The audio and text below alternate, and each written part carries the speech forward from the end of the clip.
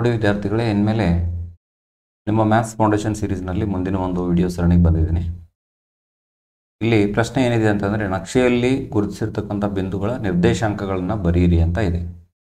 ಈ ನಕ್ಷೆಯನ್ನು ಗಮನಿಸಿರಿ. ಇಲ್ಲಿ ಬಿಂದುಗಳನ್ನು ಈಗಾಗಲೇ ಕೊಟ್ಟಿದ್ದಾರೆ. ನಾವು ಆ ಬಿಂದುಗಳ ನಿರ್ದೇಶಾಂಕಗಳನ್ನು ಬರೀಬೇಕಷ್ಟೆ. ಬೇರೆ ಏನು ಕೆಲಸ ಇಲ್ಲ. ಭಾಳ ಸುಲಭ ಇದೆ. ಇಲ್ಲಿ ಗುರುತಿಸಿರ್ತಕ್ಕಂಥ ಬಿಂದುಗಳು, ಎ ಬಿಂದು ಇದೆ. ಎ ಬಿಂದುವಿನ ನಿರ್ದೇಶಾಂಕ ಏನಾಗಬೇಕು?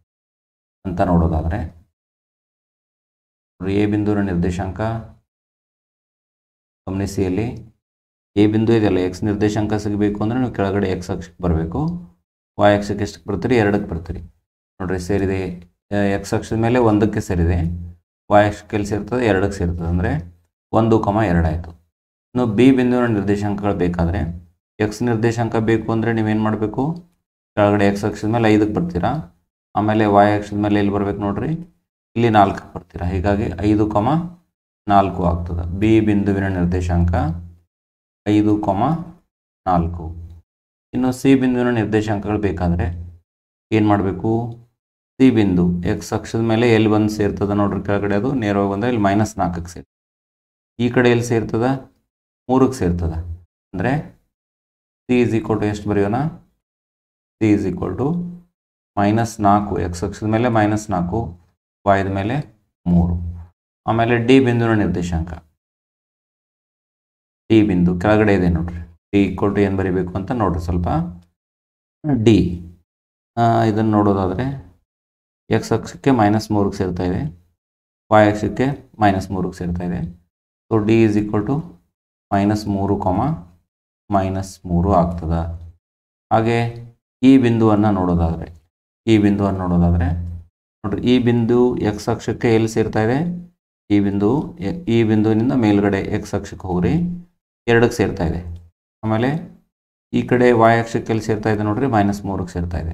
ಅಂದರೆ ಎರಡು ಎಕ್ಸ್ ಅಕ್ಷದ ಮೇಲೆ ಎರಡು ವಾಯದ ಮೇಲೆ ಮೈನಸ್ ಮೂರು. ಈ ರೀತಿಯಾಗಿ ಅಲ್ಲಿ ಗುರುತಿಸಿರ್ತಕ್ಕಂಥ ಬಿಂದುಗಳ ನಿರ್ದೇಶಾಂಕಗಳು ನಮಗೆ ಬರಲಿಕ್ಕೆ ಸಾಧ್ಯ ಆಗ್ತದೆ.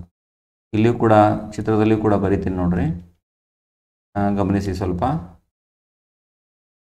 ಎ ಬಿಂದುವಿನ ನಿರ್ದೇಶಾಂಕ ಏನಾಗತ್ತಾ? ಒಂದು ಕಾಮ ಎರಡಾಯಿತು ಬಿ ಐದು ನಾಲ್ಕು ಆಯಿತು. ಆಮೇಲೆ ಸಿ ಮೈನಸ್ ನಾಲ್ಕು. ಆಮೇಲೆ ಮೈನಸ್ ಮೂರಾಯಿತು ಸಾರಿ, ಪ್ಲಸ್ ಮೂರು. ಆಮೇಲೆ ಡಿ ಮೈನಸ್ ಮೂರು ಮೈನಸ್ ಮೂರು. ಆಮೇಲೆ ಇ ಏನಾಗ್ತದೆ ನಮಗೆ? ಎರಡು ಕಾಮ ಮೈನಸ್ ಮೂರು ಆಗ್ತದೆ. ಸೊ ಈ ರೀತಿ ಅಲ್ಲಿ ಬಿಂದುಗಳನ್ನು ಈಗಾಗಲೇ ಗುರುತಿಸಿದ್ರು, ಅವುಗಳಿಗೆ ನಾವೇನು ಮಾಡಿದ್ವಿ? ನಿರ್ದೇಶಾಂಕಗಳನ್ನು ಬರ್ತೀವಿ ಇದ, ಇದೇ ಥರನಾಗಿರ್ತಕ್ಕಂಥ ಸಮಸ್ಯೆಗಳನ್ನು ಮುಂದೆ ಇನ್ನಷ್ಟು ತೊಗೊಂಡಿದ್ದೇನೆ ನಾನು ನಿಮ್ಮ ಪ್ರಾಕ್ಟೀಸ್ಗೆ ಸರಿ, ಮುಂದಿನ ಒಂದು ಗ್ರಾಫ್ ಏನಿದೆ? ನಕ್ಷೆ ಏನಿದೆ? ಅಲ್ಲಿ ಬಂದ್, ಬಂದಿರತಕ್ಕಂಥ ಬಿಂದುಗಳು ಏನು ಅಂತ ನೋಡ್ರಿ. ಸೊ, ಪಿ ಬಿಂದುವಿನ ನಿರ್ದೇಶಾಂಕ ಬೇಕಾಗಿದೆ ಇಲ್ಲಿ. ಪಿ ಬಿಂದುವಿನ ನಿರ್ದೇಶಾಂಕ ನಿಮಗೆ ಬೇಕು ಅಂತಂದರೆ ಏನು ಮಾಡ್ಬೇಕು ನೀವು? ಎಕ್ಸ್ ಅಕ್ಷಕ್ಕೆ ಸೇರಿದರೆ ಏನು ಸಿಗತ್ತೆ? ಎಕ್ಸ್ ನಿರ್ದೇಶಾಂಕ ಸಿಗತ್ತಾ? ಕೆಳಗಡೆ ಬನ್ನಿ. ಇಲ್ಲಿ ಕೆಳಗಡೆ ಬರ್ತಾ ಇದೆ ನೋಡ್ರಿ. ಎಕ್ಸ್ ಅಕ್ಷದ ಮೇಲೆ ಎಲ್ಲಿಗೆ ಬರ್ತಾ ಇದೆ ಅದು? ಎರಡಕ್ಕೆ ಬರ್ತಾ ಇದೆ. ವಾಯ್ ಅಕ್ಷದ ಮೇಲೆ ಐದಕ್ಕೆ ಸೇರ್ತಾ ಇದೆ. ಅಂದರೆ ಇದು ಪಿ ಬಿಂದುವಿನ ನಿರ್ದೇಶಾಂಕ ಪಿ ಬಿಂದುವಿನ ನಿರ್ದೇಶಾಂಕ ಎರಡು ಕಾಮ ಐದು ಆಗ್ತದ. ಆಮೇಲೆ ಕ್ಯೂ ನೋಡ್ರಿ. ಕೆಳಗಡೆ ಮೂರನೇ ಒಂದು ಚತುರ್ಥಕ ಭಾಗದಲ್ಲಿದೆ ನೋಡ್ರಿ ಕ್ಯೂ ಕ್ಯೂ ಬಿಂದು ನೋಡಬೇಕಾದ್ರೆ ಎಕ್ಸ್ ಅಕ್ಷದ ಮೇಲೆ ಎಲ್ಲಿ ಸೇರ್ತಾ ಇದೆ ಅದು? ಮೈನಸ್ ಐದಕ್ಕೆ ಸೇರ್ತಾ ಇದೆ. ಆಮೇಲೆ ಹೀಗೆ ವಾಯ್ ಎಕ್ಸ್ ಕಡೆ ಬಂದರೆ ಎಲ್ಲಿ ಸೇರ್ತಾ ಇದೆ? ಮೈನಸ್ ಎರಡಕ್ಕೆ ಸೇರ್ತಾ ಇದೆ. ಅಂದರೆ ಕ್ಯೂ ಬಿಂದುವಿನ ನಿರ್ದೇಶಾಂಕ ಮೈನಸ್ ಐದು ಕೋಮ ಎಷ್ಟಾಗಬೇಕು? ಮೈನಸ್ ಎರಡು ಆಗಬೇಕು. ಹಾಗೆಯೇ ಆರ್ ಬಿಂದುವಿನ ನಿರ್ದೇಶಾಂಕಗಳನ್ನು ನೋಡೋದಾದರೆ ಆರ್ ಬಿಂದು ಎಲ್ಲಿದೆ ನೋಡ್ರಿ, ಗಮನಿಸ್ರಿ. ಆರ್ ಇಲ್ಲಿದೆ ನಮಗೆ. ಎಕ್ಸ್ ಅಕ್ಷದ ಮೇಲೆ ಎಲ್ಲಿಕ್ಕೆ ಸೇರ್ತಾ ಇದ್ದೀವಿ ಎಕ್ಸ್ ಅಕ್ಷದ ಮೇಲೆ ಮೈನಸ್ ಮೂರಕ್ಕೆ ಸೇರ್ತಾ ಇದ್ದೀವಿ ಆಮೇಲೆ ವಾಯ್ ಅಕ್ಷದ ಮೇಲೆ ಎಲ್ಲಿ ಸೇರ್ತೀರಿ? ಎರಡಕ್ಕೆ ಸೇರಿಸ್ತಾ ಇದ್ದೀರಿ ಅಂದರೆ ಮೈನಸ್ ಮೂರು ಕೋಮ ಎರಡು. ಆಮೇಲೆ ಎಸ್ ಬಿಂದುವಿನ ನಿರ್ದೇಶಾಂಕಗಳು ಬೇಕಾಗಿದೆ. ಎಸ್ ಬಿಂದುವಿನ ನಿರ್ದೇಶಾಂಕ, ಮೊಟ್ಟ ಮೊದಲಿಗೆ ಎಕ್ಸ್ ನಿರ್ದೇಶಾಂಕ. ನೋಡ್ರಿ ಎಷ್ಟಾಗಬೇಕು? ಆರು ಆಗಬೇಕು. ಆಮೇಲೆ ವಾಯು ನಿರ್ದೇಶಾಂಕ ಎಷ್ಟಾಗಬೇಕು? ಮೈನಸ್ ಎರಡು ಆಗಬೇಕು. ಆರು ಕೊಮ ಮೈನಸ್ ಎರಡು. ಆರು ಕೊಮ ಮೈನಸ್ ಎರಡು. ಆಮೇಲೆ ಟಿ ಬಿಂದುವಿನ ನಿರ್ದೇಶಾಂಕಗಳು. ಟಿ ಬಿಂದುವಿನ ನಿರ್ದೇಶಾಂಕಗಳು ಏನಾಗಬೇಕು ನೋಡ್ರಿ? ಟಿ ಬಂದರೆ ಎಕ್ಸ್ ಅಕ್ಷದ ಮೇಲೆ ಎಲ್ಲಿ ಸೇರ್ತಾ ಇದೆ ಅದು. ಎರಡಕ್ಕೆ ಸೇರ್ತಾ ಇದೆ. ವೈಗೆ ಮೈನಸ್ ಫೈವ್ ಅಂದರೆ two comma two comma minus five T ಬಿಂದುವಿನ ನಿರ್ದೇಶಾಂಕಗಳು. ನೀವು ನಕ್ಷೆಯಲ್ಲೂ ಬರಿಬೋದು ಅಥವಾ ಪಕ್ಕಕ್ಕೆ ಇಲ್ಲಿ ಬರೆದು ಬಿಟ್ಟಿದೆ ಇಷ್ಟ ಬಿಟ್ಟರೂ ಕೂಡ ಸಾಕಾಗತ್ತೆ. So P U R S ಟಿನ ಎಲ್ಲ ನಿರ್ದೇಶಾಂಕಗಳನ್ನ ನಾನು ಬರೆದೆ. ನೋಡಿ ಪಿ ಬಿಂದುವಿನ ನಿರ್ದೇಶಾಂಕಗಳು ಏನಾದವು? ಎರಡು ಕಾಮ ಐದು. ಕ್ಯೂ ಮೈನಸ್ ಐದು. ಮೈನಸ್ ಎರಡು. ಆಮೇಲೆ ಆರ್ ಮೈನಸ್ ಮೂರು ಎರಡು. ಎಸ್ ಆರು ಕೊಮ ಮೈನಸ್ ಎರಡು. ಟಿ ಎರಡು ಕೊಮ ಮೈನಸ್ ಐದು. ಸರಿ, ಇದಿಷ್ಟು ನಾವು ಬಿಂದುಗಳನ್ನು ಗುರುತಿಸಲಿಕ್ಕೆ, ಗುರುತಿಸಿರ್ತಕ್ಕಂಥ ಬಿಂದುಗಳ ನಿರ್ದೇಶಾಂಕಗಳನ್ನು ಬರಲಿಕ್ಕೆ ಸಮ್, ಸಮರ್ಥರಾದ್ವಿ. ಬಿಂದುಗಳನ್ನು ಕೊಟ್ಟಿದ್ರೆ ಅದರ ನಿರ್ದೇಶಾಂಕವನ್ನು ಬರಲಿಕ್ಕೆ ಬರಬೇಕು ನಿಮಗೆ. ಸರಿ ಇನ್ನು ಮುಂದಿನ ಪ್ರಶ್ನೆ ಇದೇ ಪ್ರಕಾರದ ಪ್ರಶ್ನೆ ಇದೆ. ಸ್ವಲ್ಪ ಎಕ್ಸ್ ಅಕ್ಷ ಮತ್ತು ವಾಯ್ ಅಕ್ಷದ ಮೇಲಿನ ಬಿಂದುಗಳಿವೆ ಇವು. ನೀವೇನು ಸ್ಮರಿಸ್ಕೋಬೇಕು ಅಂದರೆ ಎಕ್ಸ್ ಅಕ್ಷದ ಮೇಲೆ ಇತ್ತಂದ್ರೆ ವಾಯ್ ಜೀರೋ ಇರ್ತದೆ ವಾಯ್ ನಿರ್ದೇಶಾಂಕ.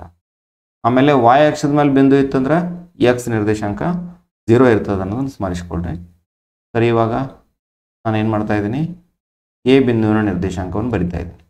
ಎಕ್ಸ್ ಅಕ್ಷದ ಮೇಲೆ ಮೂರಕ್ಕಿದೆ ಅಂದರೆ ಮೂರು ಕಾಮ ಜೀರೋ ಎಕ್ಸ್ ಅಕ್ಷದ ಮೇಲಿನ ಯಾವುದೇ ಒಂದು ಬಿಂದು ಎಕ್ಸ್ ಕಾಮ ಜೀರೋ ರೂಪದಲ್ಲಿ ಇರ್ತದೆ ವಾಯ್ ಅಕ್ಷದ ಮೇಲೆನೇ ಯಾವುದೇ ಒಂದು ಬಿಂದು ಜೀರೋ ಕಾಮ ವಾಯ್ ರೂಪದಲ್ಲಿ ಇರ್ತದೆ ಅನ್ನೋದು ನೆನಪಿಟ್ಕೊಡ್ರಿ ಇನ್ನು ಎ ಆಯಿತು ಬಿ ಬಿಂದು ಏನಾಗಬೇಕು ನೋಡ್ರಿ? ಅದು ಎಕ್ಸ್ ಅಕ್ಷದ ಮೇಲೆ ಐತಿ ಸಿಕ್ಸ್ ಕಾಮ ಜೀರೋ ಆಗ್ತದೆ. ಸಿ ಏನಾಗ್ತದೆ ನೋಡ್ರಿ? ಅದು ಎಕ್ಸ್ ಅಕ್ಷದ ಮೇಲೆ ಅದ, ಅಂದರೆ ಎಕ್ಸ್ ಮೇಲೆ ಎಲ್ಲೈತಿ ಮೈನಸ್ ಐದರಾಗ ಐತಿ ವಾಯ್ ಕಂಪಲ್ಸರಿ ಜೀರೋ ಆಗ್ತದೆ. ಎಕ್ಸ್ ಅಕ್ಷದ ಮೇಲೆ ಯಾವುದೇ ಬಿಂದು ಬಂತಂದ್ರೆ ವಾಯ್ ಜೀರೋ ಆಯಿತು. ಇನ್ನು ಡಿ ಮತ್ತು ಈ ಎರಡು ಏನದಾವ ಹೇಳ್ರಿ ಇವು? ವಾಯ್ ಅಕ್ಷದ ಮೇಲೆ ಅದಾವ. ಡಿ ಎಷ್ಟಾಗಬೇಕು ನೋಡ್ರಿ? ಎಕ್ಸ್ ಕಂಪಲ್ಸರಿ ಝೀರೋ ಆಗಬೇಕು. ಆಮೇಲೆ ವಾಯ್ ನಿರ್ದೇಶಾಂಕ ಎಷ್ಟು? ಮೂರು. ಈ ಬಿಂದುವಿನ ನಿರ್ದೇಶಾಂಕವನ್ನು ನಾವು ಬರೆಯೋದಾದರೆ ಎಕ್ಸ್ ಕಂಪಲ್ಸರಿ ಝೀರೋ ಆಗಬೇಕು ವಾಯಿನ ಬೆಲೆ ಎಷ್ಟಾಗಬೇಕು ನೋಡ್ರಿ? ಮೈನಸ್ ನಾಲ್ಕು ಆಗಬೇಕು. ಸರಿ, ಇವಿಷ್ಟು ಈ ಬಿಂದುವಿನ ನಿರ್ದೇಶಾಂಕಗಳು. ಎ ಬಿಂದುವಿನ ನಿರ್ದೇಶಾಂಕಗಳು ಮೂರು ಕಾಮ ಸೊನ್ನೆ, ಬಿ ಆರು ಕಾಮ ಸೊನ್ನೆ ಸಿ ಮೈನಸ್ ಐದು ಕಾಮ ಸೊನ್ನೆ, ಡಿ ಝೀರೋ ಕಾಮ ತ್ರೀ ಈ ಏನಾಯ್ತು ನಮ್ಗೆ? ಝೀರೋ ಕಾಮ ಮೈನಸ್ ಫೋರ್ ಅನ್ನೋದು ನಮಗೆ ತಿಳಿದು ಬರುತ್ತೆ. ಸರಿ, ಇನ್ಮೇಲೆ ಮುಂದಿನ ಒಂದು ಪ್ರಶ್ನೆ, ನಾಲ್ಕನೇ ಪ್ರಶ್ನೆ, ಇದೇ ತೆರನಾಗಿರ್ತಕ್ಕಂಥ ಪ್ರಶ್ನೆ ಇದೆ ನೋಡ್ರಿ. M L M N O P. Okay, ನಾನು ಯಾವುದೂ ಮಾರ್ಕಿಂಗಲ್ಲಿ ಮಾಡ್ಲಿಕ್ಕೆ ಹೋಗೋದಿಲ್ಲ, ನೇರವಾಗಿ ಬರ್ತೀನಿ ನೋಡ್ರಿ. ಎಲ್ ಬಿಂದು ಆರು ಕೊಮ ಎರಡು. ಎಕ್ಸ್ ಮೇಲೆ ಆರು, ಇಲ್ಲಿ ಕೆಳಗಡೆ ಆರಕ್ಕೆ ಬರ್ತೀರಾ, ಇಲ್ಲಿ ಎರಡಕ್ಕೆ ಹೋಗ್ತೀರಾ? ಆಮೇಲೆ ಎಂ ಎರಡು ನಿರ್ದೇಶಾಂಕ ಎಂ ನೋಡೋದಾದರೆ ನೋಡಿ ಎಕ್ಸ್ ಅಕ್ಷದ ಮೇಲೆ ಮೈನಸ್ ಮೂರು, ಆಮೇಲೆ ಐದು. ಮೈನಸ್ ಮೂರು ಕಾಮ ಐದು. ಎನ್ ಬಿಂದುವಿನ ನಿರ್ದೇಶಾಂಕಗಳು ನೋಡೋದಾದರೆ ಎಕ್ಸ್ ಅಕ್ಷದ ಮೇಲಿದೆ, ಎರಡರಲ್ಲಿದೆ ವಾಯ್ ಕಂಪಲ್ಸರಿ ಜೀರೋ ಇರಬೇಕು. ಓ ಬಿಂದು ನೋಡೋದಾದರೆ ಅದು ಎಕ್ಸ್ ಅಕ್ಷದ ಮೇಲಿದೆ, ಆಮೇಲೆ ಮೈನಸ್ ಮೂರರಲ್ಲಿದೆ ವಾಯ್ ಕಂಪಲ್ಸರಿ ಜೀರೋ ಆಗಬೇಕು. ಪಿ ಬಿಂದುವನ್ನು ನೋಡೋದಾದರೆ ವಾಯ್ ಅಕ್ಷದ ಮೇಲಿದೆ ಎಕ್ಸ್ ಕಂಪಲ್ಸರಿ ಜೀರೋ ಆಗಬೇಕು. ಎಲ್ಲಿದೆ ಅದು? Minus ಐದಕ್ಕಿದೆ. So L M N O P ಎಲ್ಲ ಬಿಂದುಗಳ ನಿರ್ದೇಶಾಂಕಗಳನ್ನು ಬರೀಲಿಕ್ಕೆ ನಾವು ಸಮರ್ಥರಾದ್ವಿ. ಸರಿ, ಹಾಗಾದರೆ ಇನ್ನೊಂದು ಪ್ರಶ್ನೆ ಬಂದಿದೆ. ಏನಿದೆ ಅಂತ ನೋಡಿ ಸ್ವಲ್ಪ ವಿಭಿನ್ನ ಇದೆ ಪ್ರಶ್ನೆ. ಏನಂತ ಗಮನಿಸ್ರಿ. ನಕ್ಷೆಯಲ್ಲಿ ಕೊಟ್ಟಿರುವ ಎಕ್ಸ್ ಅಥವಾ ವಾಯ್ ನಿರ್ದೇಶಾಂಕ ಬರೆಯಿರಿ.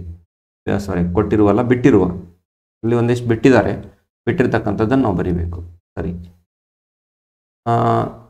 ಪಿ ಬಿಂದು ಇದೆ ಇಲ್ಲಿ ಎರಡು ಕಾಮ. ಎಕ್ಸ್ ನಿರ್ದೇಶಾಂಕ ಎರಡಿದೆ ವಾಯ್ ಎಷ್ಟಿರಬೇಕು? ಮೂರು. ಬಿಟ್ಟಿದ್ದು ತುಂಬ್ತಾ ಇದ್ದೀನಿ ನೋಡಿ ನಾನು. ಬಿಟ್ಟಿದ್ದನ್ನು ತುಂಬ್ತಾ ಇದ್ದೀನಿ. ಮೂರಾಯಿತು ಆಮೇಲೆ ಎರಡು, ಮೂರು ಆಯ್ತು ಇದು. ಆಮೇಲೆ ಕ್ಯೂ ಕ್ಯೂ ಏನಾಗ್ತದ? ಜೀರೋ ಇದು. ವಾಯ್ ಎಕ್ಸ್ ಮೇಲೆ ಇರೋದ್ರಿಂದ ಎಕ್ಸ್ ಕಂಪಲ್ಸರಿ ಜೀರೋ ಇರಬೇಕು. ಆರ್ ಆರ್ ಮೈನಸ್ ಐದು ಎಕ್ಸ್ ನಿರ್ದೇಶಾಂಕ ಕೊಟ್ಟಿದ್ದಾನೆ. ವಾಯ್ ನಿರ್ದೇಶಾಂಕ ಖಾಲಿ ಬಿಟ್ಟಾನೆ. ಇದು ಎರಡು ಆಗಬೇಕು. ಆಮೇಲೆ ಪಿ ಕ್ಯೂ ಆರ್ ಎಸ್ ಇದು. ಇದು ಬಿಂದು ಏನಂತ ಇರಲಿ ಅಂದರೆ ಟಿ ಇರಲಿ ಇದು. ನೋಡ್ರಿ ಎಸ್ ಬಿಂದು ಎಕ್ಸ್ ನಿರ್ದೇಶಾಂಕ ಸಾರಿ ಎಕ್ಸ್ ನಿರ್ದೇಶಾಂಕ ಎಷ್ಟಿದೆ? ಎಕ್ಸ್ ನಿರ್ದೇಶಾಂಕ ಗೊತ್ತಿಲ್ಲ. ವಾಯ್ ನಿರ್ದೇಶಾಂಕ ಎಷ್ಟಿದೆ? ಮೈನಸ್ ಮೂರು ಇದೆ. ಎಕ್ಸ್ ನಿರ್ದೇಶಾಂಕ ಬೇಕಂದ್ರೆ ಮೂರಕ್ಕೆ ಹೋಗ್ಬೇಕು. ಮೂರಕ್ಕೆ ಸೇರ್ತಾ ಇದೆ ನೋಡ್ರಿ. ಇಲ್ಲಿ ಮೈನಸ್ ಐದು ಮೈನಸ್ ಐದು ಎಕ್ಸ್ ನಿರ್ದೇಶಾಂಕ ಇದೆ. ವಾಯ್ ಎಷ್ಟಿದೆ? ಮೈನಸ್ ಮೂರು ಇದೆ. ಸರಿ, ಇಷ್ಟಾದರೆ ನಾವು ಇಲ್ಲಿ ಬಿಟ್ಟಿರ್ತಕ್ಕಂಥದ್ದನ್ನೆಲ್ಲ ಗುರುತಿಸ್ಲಿಕ್ಕೆ ಸಾಧ್ಯ ಆಯಿತು. ಸರಿ.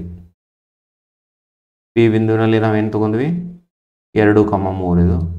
ಎರಡು ಕಮ ಮೂರು. ಮೂರನ್ನು ಬಿಟ್ಟಿತ್ತು, ಅದನ್ನು ನಾವು ಏನು ಮಾಡಿದ್ವಿ? ಈ ಮೂರನ್ನು ತುಂಬಿಕೊಂಡ್ವಿ ನೋಡ್ರಿ. ಮೂರು ತುಂಬಿದ್ವಿ. ಆಮೇಲೆ ಕ್ಯೂ ಬಿಂದುವಿನಲ್ಲಿ ಇಲ್ಲಿ ಕಮ ಸಿಕ್ಸ್ ಇತ್ತು ಏನು ತುಂಬಿದ್ರೆ ನೀವು? ಮೂರು ಜೀರೋವನ್ನು ತುಂಬಿಕೊಂಡ್ವಿ. ಆಮೇಲೆ ಆರ್ ಬಿಂದುವಿನಲ್ಲಿ ಆರ್ ಬಿಂದುವಿನಲ್ಲಿ ಮೈನಸ್ ಐದು ಕೊಮ ಗ್ಯಾಪ್ ಇತ್ತು. ಆ ಗ್ಯಾಪ್ನಲ್ಲಿ ಎಷ್ಟು ತುಂಬಿದ್ರಿ? ಎರಡು ತುಂಬಿದ್ರಿ. ಆಮೇಲೆ ಎಸ್ ಬಿಂದುವಿನಲ್ಲಿ ಮೈನಸ್ ಮೂರು ಎರಡನೇ ನಿರ್ದೇಶಾಂಕ ಕೊಟ್ಟಿದ್ದರು ಮೊದಲನೇ ತುಂಬಿಕೊಂಡ್ವಿ. ಮೊದಲನೇದು ಎಷ್ಟು ಬಂತು? ಮೂರು ಬಂತು. ಹಾಗೆ ನಮಗೆ ಟಿ ಬಿಂದುವಿನಲ್ಲಿ ಏನು ಕೊಟ್ಟಿದ್ರು ಅಂದರೆ ಮೈನಸ್ ಐದು ಕೊಟ್ಟಿದ್ದರು ಎರಡನೇ ನಿರ್ದೇಶಾಂಕ ತುಂಬಿಕೊಂಡ್ವಿ. ವಾಯು ನಿರ್ದೇಶಾಂಕ ಎಷ್ಟಾಗ್ತದಲ್ಲಿ ಮೈನಸ್ ಮೂರು ಆಗ್ತದೆ. ಸರಿ. ಸೊ ಇಷ್ಟು ಚರ್ಚೆ ನಿಮಗೆ ಯಾವುದೇ ಬಿಂದುವಿನ ನಿರ್ದೇಶಾಂಕವನ್ನು ಬರೀಲಿಕ್ಕೆ ಮತ್ತು ನಿರ್ದೇಶಾಂಕ ಬಿಂದುವನ್ನು ಗುರುತಿಸಿದ್ರಂದ್ರೆ ಅವುಗಳನ್ನು ನಿರ್ದೇಶಾಂಕ, ಬಿಂದುವನ್ನು ಗುರುತಿಸಿದ್ರಂದ್ರೆ ಅವುಗಳ ನಿರ್ದೇಶಾಂಕಗಳನ್ನು ಹೇಳಲಿಕ್ಕೆ ನಿಮಗೆ ಸಾಧ್ಯ ಆಗ್ತದೆ ಅಂತ ಭಾವಿಸಿದೆ ಕೊಟ್ಟಿರ್ತಕ್ಕಂಥ ಬಿಂದುವನ್ನು ನಕ್ಷೆಯಲ್ಲಿ ಗುರುತಿಸ್ಲಿಕ್ಕೆ ಗುರುತಿಸಲಿಕ್ಕೆ ಬರಬೇಕು. ನಕ್ಷೆಯಲ್ಲಿ ಗುರುತಿಸಿರುವ ಬಿಂದುವಿನ ನಿರ್ದೇಶಾಂಕಗಳನ್ನು ಬರೀಲಿಕ್ಕೆ ನಿಮಗೆ ಸಮರ್ಥವಾಗಿ ಬರಬೇಕು. ಯಾವುದೇ ತೆರನಾಗಿರ್ತಕ್ಕಂಥ ಕನ್ಫ್ಯೂಷನ್ ಇರಬಾರ್ದು.